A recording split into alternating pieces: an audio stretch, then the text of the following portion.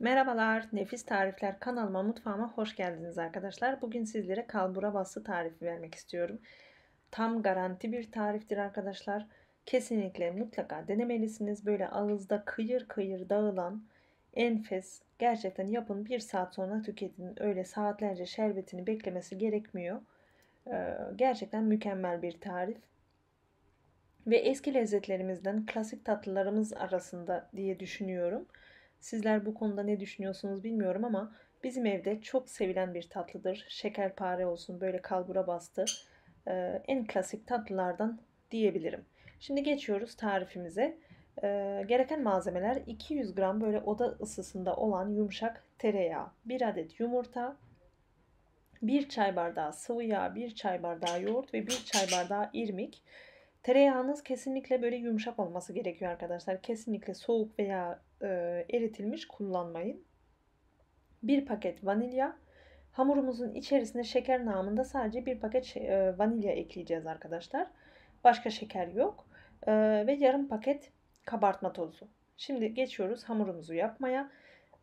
Bu arada benim e, ben bugün biraz kameramın azizliğine uğradım. Şerbeti yaparken çekim e, kayıt altına almamış.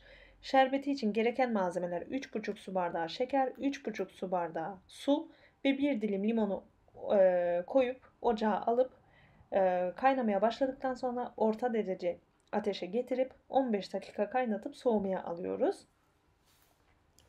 E, kısaca da onu anlatmış oldum. Yani ben bu hamurumu yaparken şerbetim soğuma aşamasında. Diğer un hariç, un ve kabartma tozu hariç tüm malzemeleri e, yoğurma kabına aktarıp ilk önce onları güzelce bir karıştırıyorum. Ben bugün sizlere en klasik e, tarifi vermek istiyorum ama bu tarifi kendi damak tadınıza göre şekillendirebilirsiniz. İsteyenler limon veya portakal kabuğu rendesi ekleyebilir, Hindistan cevizi ekleyebilir. E, gerçekten kendi damak tadınıza göre şekillendirebilirsiniz içinin aromasını, lezzetini. Ben en klasik şekilde yaptım bugün ve genelde herkes tarafından sevilen bir tatlı. Ee, ve bana çok sık sorulan bir soruya da buradan cevap vermek istiyorum. Margarin kullanabilir miyiz diye çok soru alıyorum böyle kurabiye tarzı tariflerde. Arkadaşlar isteğe bağlı ama benim tercihim bana şahsi fikrimi soracak olursanız her zaman için tereyağdan yana kullanıyorum tercihimi. Lezzeti, kokusu, aroması bambaşka. Hamurumu yoğurdum bu arada. Yaklaşık yarım kilo un gitti arkadaşlar. 3 ve 4 su bardağı arası. Gördüğünüz gibi hamurumuz toplandı. Ele yapışmıyor ama gayet yumuşak bir hamur. Böyle çok aşırı un eklemeyin. İç harcı olarak ben e, Türkiye'den getirdiğim ve derin dondurucuya attığım file Antep fıstığım var. Ama ceviz, fındık, e, fıstık ne isterseniz onu kullanabilirsiniz. Böyle bu şekilde silikon altlığım var. Böyle tencere altlığı diye satılıyor. Artık her yerde kolaylıkla bulunuyor. Onunla şekil vereceğim. Tabi ben bu altlığı sadece böyle tariflerde kullanmak için aldım arkadaşlar. Üzerine asla tencere vesaire koymuyorum. Ee, hamurumdan bir parça alıp böyle ilk önce elimle rulo yapıp kalıbımın üzerinde hafif bastırarak yayıyorum hamurumu ilk olarak ve ortasına gelecek şekilde e, antep fıstıklarımdan koyuyorum. İsteyenler boş da yapabilir. Direkt böyle yuvarlayıp da yapabilirsiniz. Şekli tamamen size kalmış ama ben iç dolgusu da olsun istedim. Daha lezzetli oluyor. Böyle iki parmak uçlarımızla hemen iki ucu birleştirip zaten kolaylıkla şekil alan bir hamurumuz var. Böyle altını hafif düzledikten sonra e, kalıbım silikon olduğu için kolaylıkla hamurum çıkıyor oradan.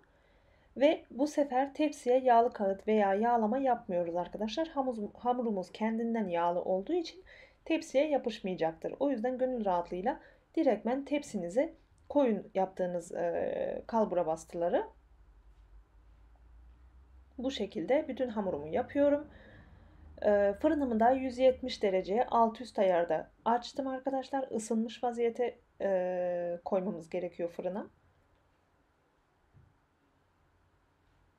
Dediğim gibi ben bütün hamurlarımı yaptım. Ve tam bir dolu tepsi ayrıyetten bir borcam çıktı. Bu verdiğim ölçülerle. Onu da sizlere göstermek istedim. Kesinlikle yanıltma vesaire olmasın. Ama e, sizlerin yapacağınız şekillere göre, büyüklüğüne, küçüklüğüne göre bu sayı değişebilir. Gördüğünüz gibi tam bir borcam ve tam bir fırın tepsisi dolusu oldu. Ve şerbetim de her ikisine de yeterli geldi arkadaşlar. 170 derece önceden ısıttığım alt üst ayarda fırının orta katının bir altına koydum ben arkadaşlar. Altı da çok güzel kızarmasını istedim.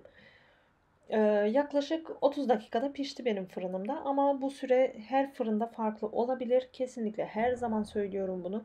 Süreye takılmayın. Ee, güzelce piştiğinden emin olmadan fırından çıkartmayın. Altı ve üstü güzel kızarmış olması gerekiyor ve dikkatinizi çekmek isterim. Ee, yumurta sarısı sürmedik. Ona rağmen çok güzel nar gibi kızardılar. Ee, videonun bazı yerlerinde biraz ışık mağduruyum arkadaşlar. Bu aşamada çok fazla beyaz çıkmış ama aslında çok güzel kızardı. Fırından yeni çıktı. Şerbetim de soğudu. Şerbetimizin kıvamı bu şekilde. Ee, az önce de sıcak olmasına rağmen sizlere yapışmadığını ve altının çok güzel kızardığını göstermek istedim. Şerbetini döküyorum artık sıcak tatlının üzerine. Dediğim gibi şerbetimiz soğuk.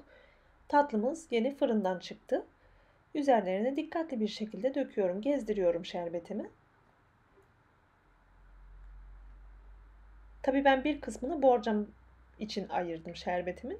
Ama isteyenler tamamını dökebilir. Zaten şerbeti çok kolay çeken bir tatlı türü bu.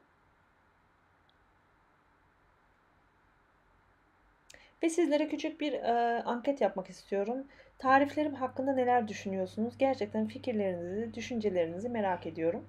Bunu yorumlarda bir çiçek ve bir kalp, kalp bırakarak yazarsanız ben de videomu buraya kadar izlediğinizi ve bana cevap verdiğinizi e, bilerek okurum ve e, büyük bir memnuniyetle cevap vermeye çalışırım elimden geldiğince.